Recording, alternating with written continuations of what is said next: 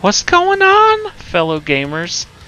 I just thought I'd play some Goat of Duty. In case anyone's never seen this, it's a little hidden gem on Steam. It's not very expensive, fun game. It's kind of a throwback to those old Unreal Tournament type of games, or Quake, games like that. Let's give it a shot.